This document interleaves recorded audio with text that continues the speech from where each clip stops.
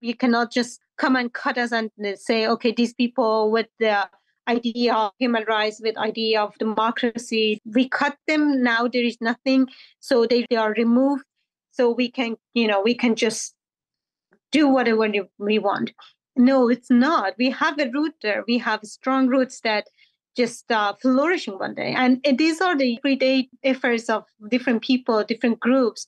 I think it's watering those roots to, to just one day they come up and they show resistance.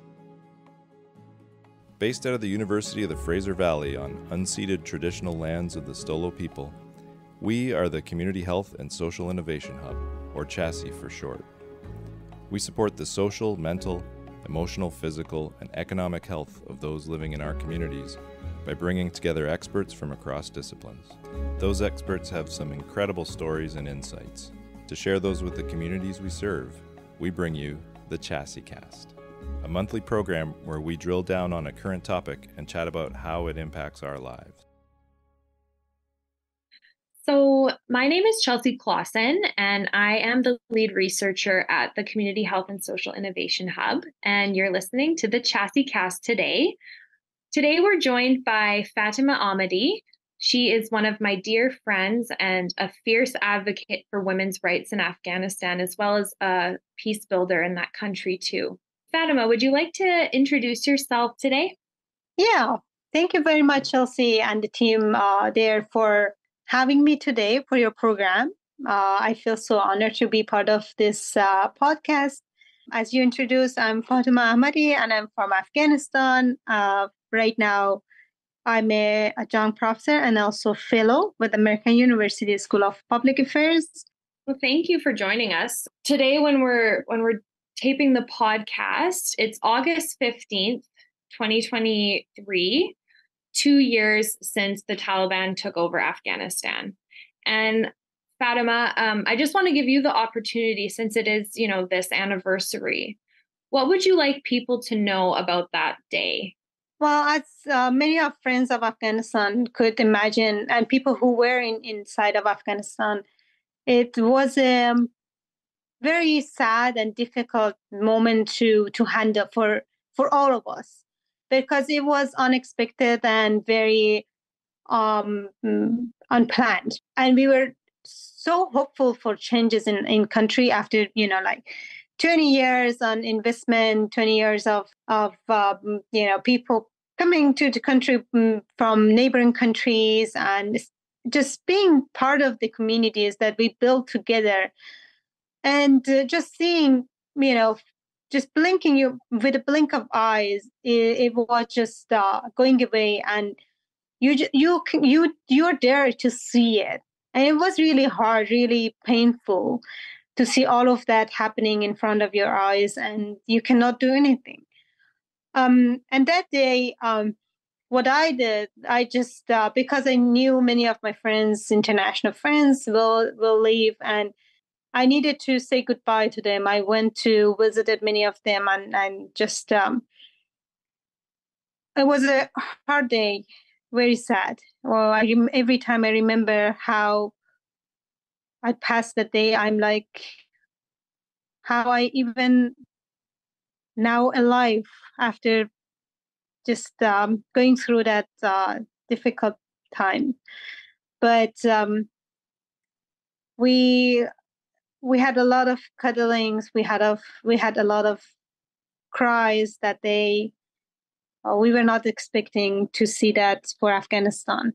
So, yeah, it it was hard and still um, it's very hard. Uh, alongside the hope that we have still for the country because um, because of this uh, young generation that they really want to see a different, peaceful Afghanistan and uh, want to see that people living there with dignity in peaceful life.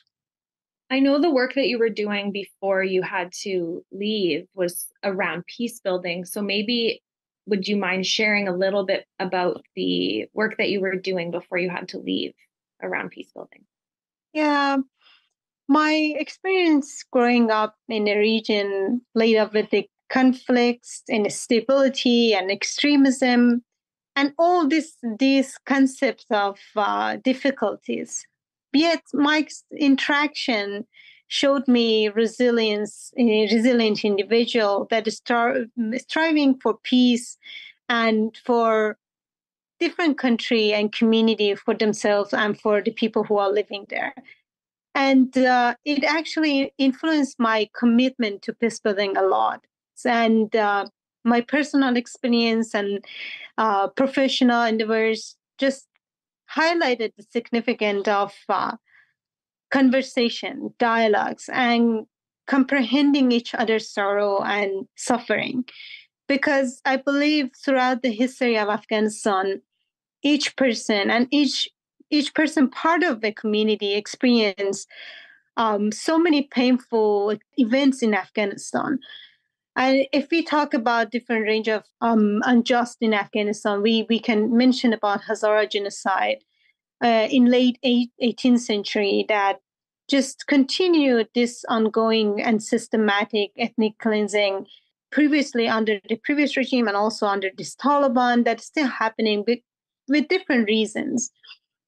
And uh, it's very important to to understand that even with that horrible experience, we have other communities in Afghanistan that also last 20 years, for example, we, we saw that attacks happened uh, to government institutions, to hospitals, to to education centers, and different places that people were feeling, uh, you know, people actually should feel secure to be to be there, but it was not secure for anyone to be in that places.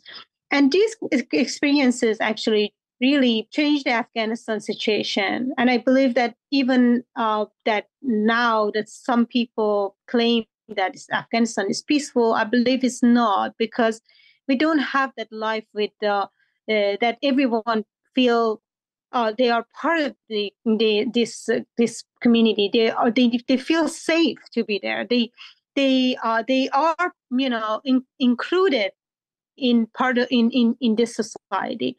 So what actually we what we have done in Afghanistan you know, before this transfer of power uh, in August 2021 we were hoping to engage more voices with peace building to find ways how, for example, how we can find community led solutions for conflicts for each community because different regions and zones in Afghanistan they have different problems and conflicts. So we had provincial dialogues, we had women's talk, we had different programs for different levels.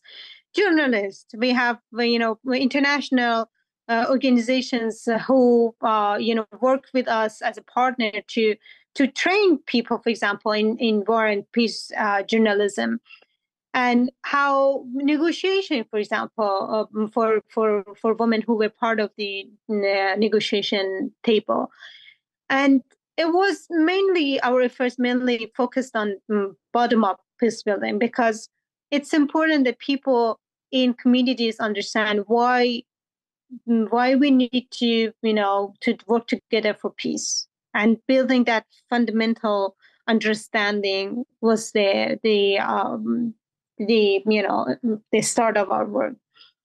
And uh, by just adopting this foundation um, i think we can establish a framework for uh, for just understanding each other. And also it is important imperative that um, we remove all of these uh, you know obstacles in front of our, uh, us to to understand to to you know just uh, understand that the big goal and the the, the big problems and uh, that ideology shouldn't be in afghanistan and should be should be removed from from the uh, society so we can see you know uh, afghanistan flourishing and it's not only the, the issue within Afghanistan, it's a broader regional issue. It's a it's a global issue because it's not is the harmful pra- uh, practices that they're just implementing right now in Afghanistan is it's not going to stay there and it's expanding globally.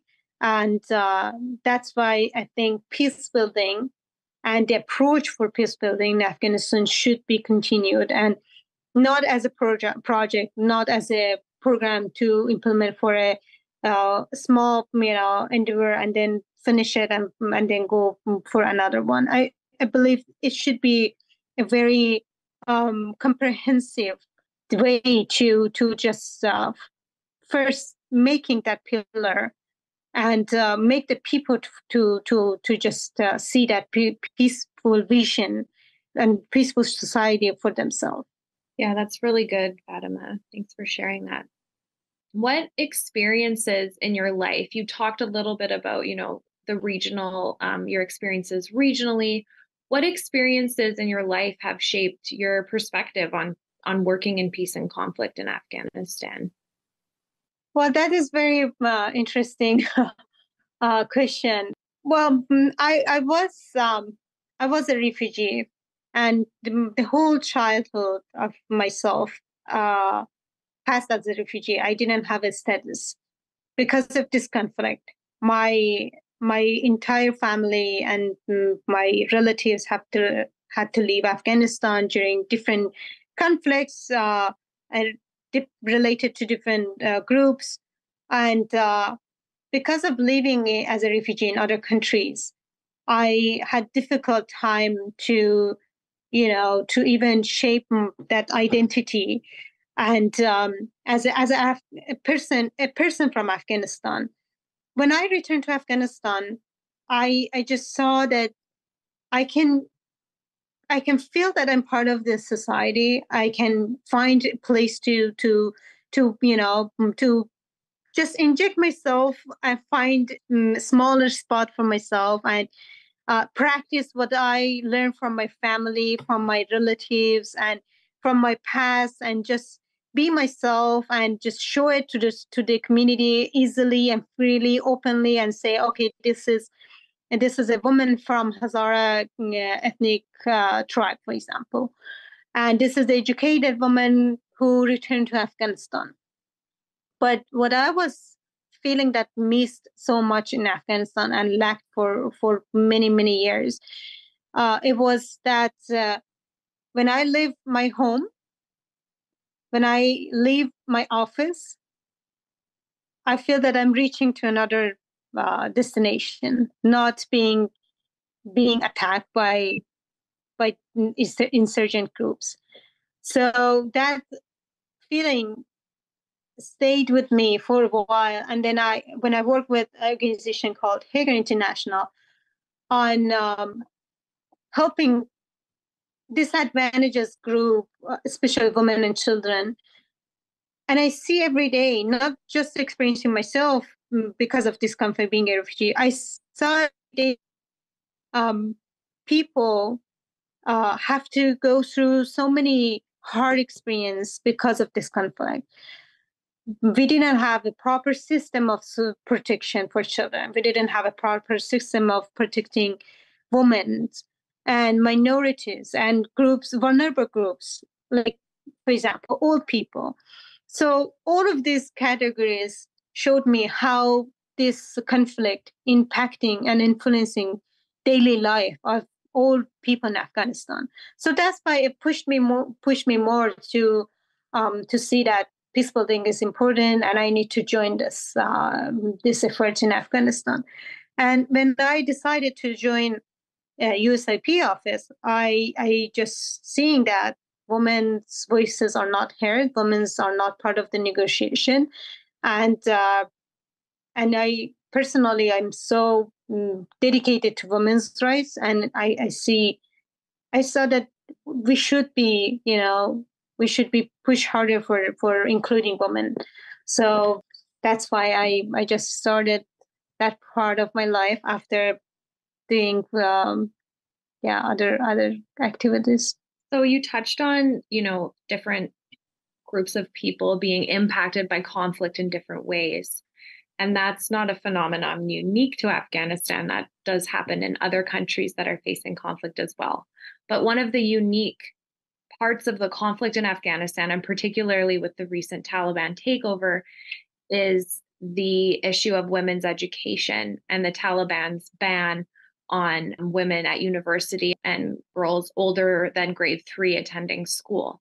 So I wonder if you might be able to tell our listeners a little bit about the challenges that women are facing in Afghanistan now, given the Taliban regime, and how you've heard that has impacted their lives. Yeah, sure.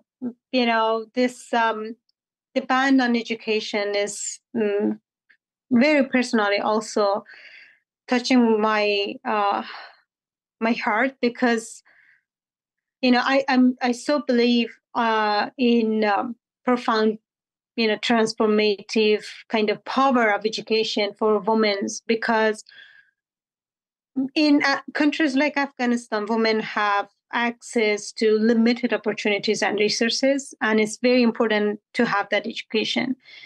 And I witnessed firsthand the life altering impact of education for my life because I mentioned earlier, I lived as a refugee. And I just, every day I was singled out from the classmate, from class to stay home because there is no confirmation for you as a refugee to, to come and study.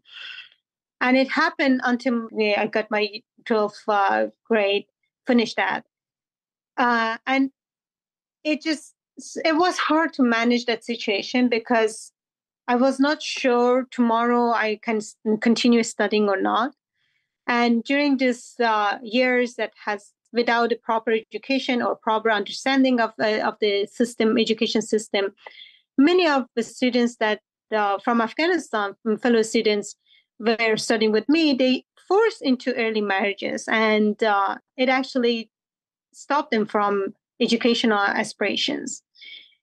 And these numerous challenges happened, you know, had to mm, just went with me until until the, the universities. And even the, before the university, I had the, the same experience because first we were not allowed to to go to universities because of that uh, refugee status. Second, they in some years they were opening some small doors for for refugees to to do the exam, and then they were saying, oh, you should have to pay three times more, or, you know, refugees have to pay this amount.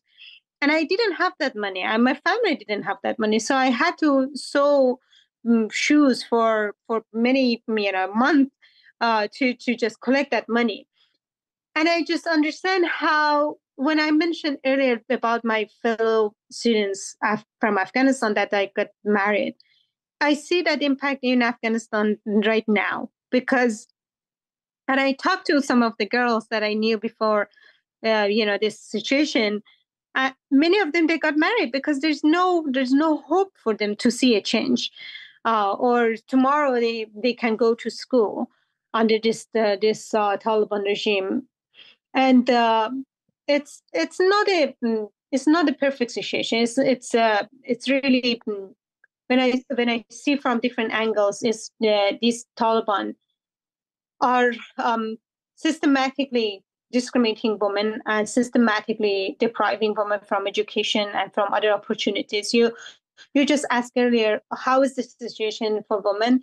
It's not promising. It's not a situation that other women in other part of the world face. And we we just have okay, you know, like some solution that work in other part of the world, so we can implement it here this is completely a new uh, new uh, phenomenon that we we just uh, faced in Afghanistan, and what we see every day, they're just putting a new limitation on women, and uh, they just diminishing all of the public spheres on women and diminishing all of the opportunities for for women to socialize, and when they came to power, actually. Well, they dismantle all, so many laws and abolish so many laws. For example, the law on eliminating violence against women, or the Convention uh, of Elimination Discrimination against, against women.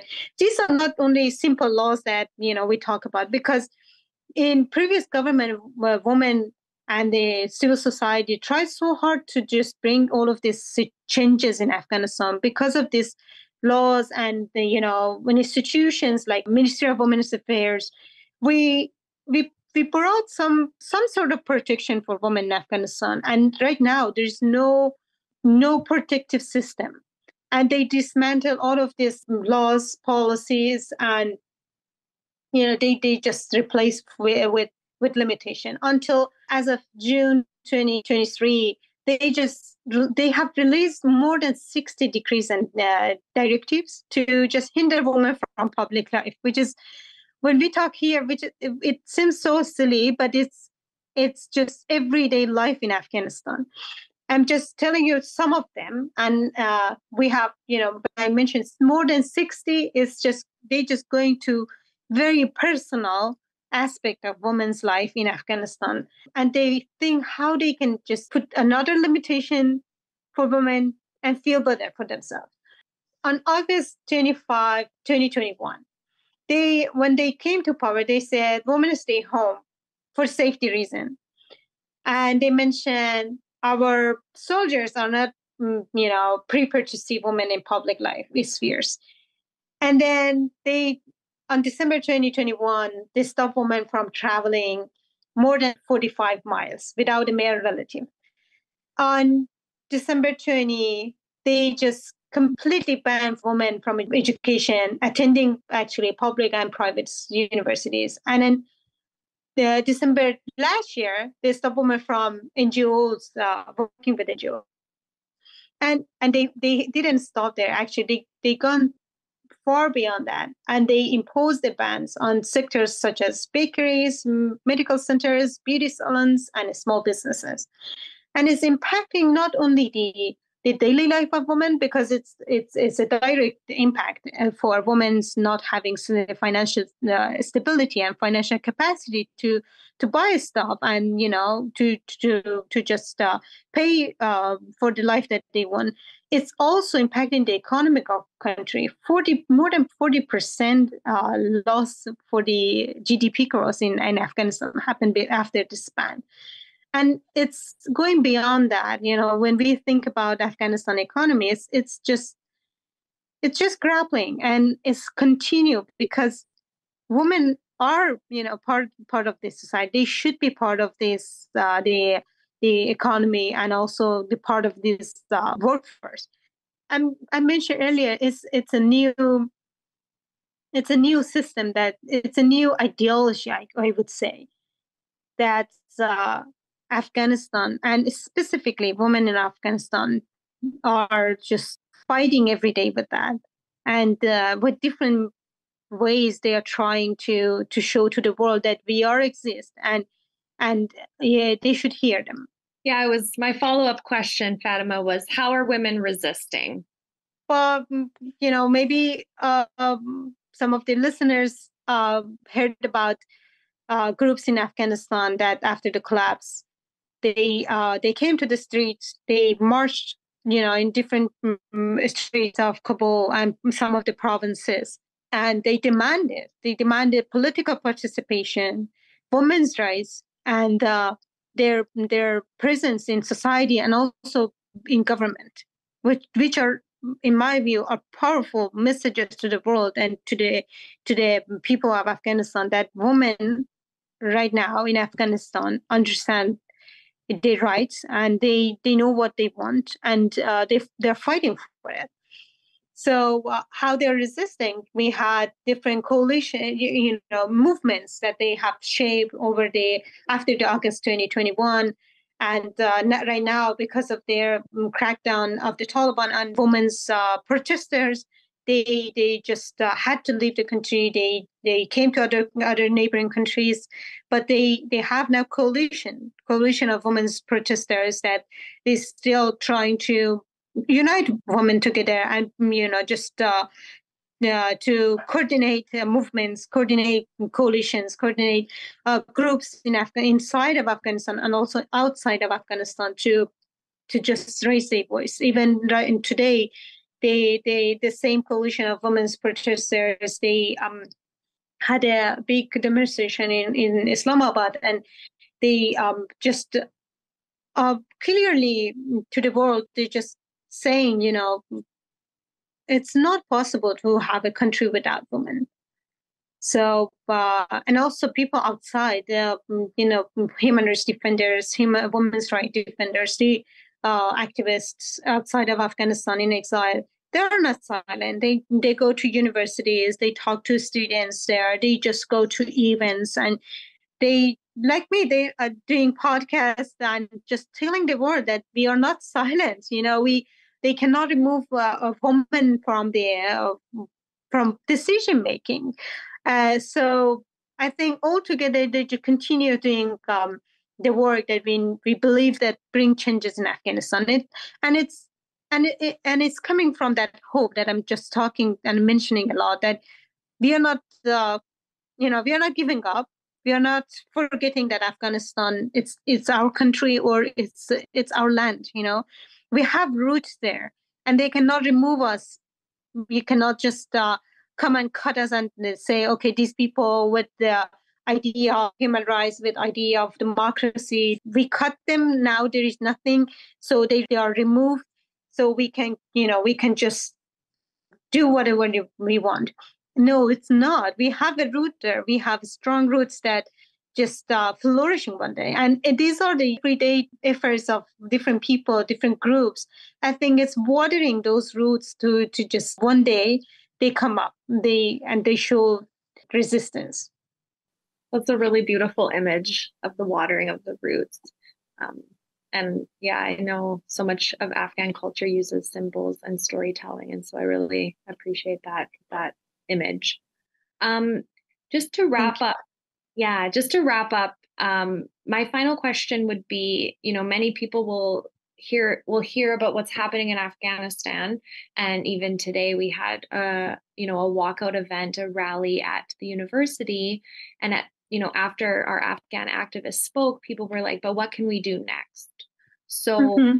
how can um you know people who are allies of of Afghan women and allies of uh you know a free Afghanistan how can we combat those human rights violations that are happening in Afghanistan? Right.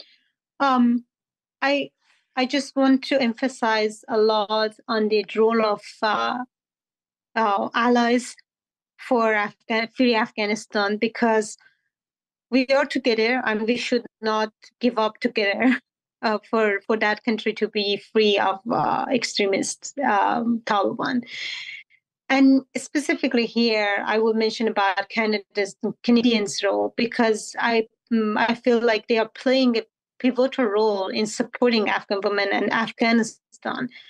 Um, but specifically, they can raise their their uh, raise awareness about what is happening in Afghanistan, the human rights violations, and the struggles of Afghan women and uh, Afghan people and amplifying voices of of, uh, of Afghanistan, uh, people of Afghanistan, and their demands. You know, they they have a different demands of the Taliban and uh, people who are inside, and also the people who are in exile, and uh, advocating for the policies that prioritizing human rights on the top of the decisions, because when we think about other countries, we we we believe that okay, based on the democratic uh, values and based on human rights, what are what are the best uh, approach to take?